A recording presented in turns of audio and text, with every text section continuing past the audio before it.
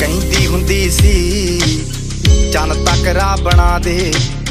ਤਾਰੇ ਨੇ ਪਸੰਦ ਮੈਨੂੰ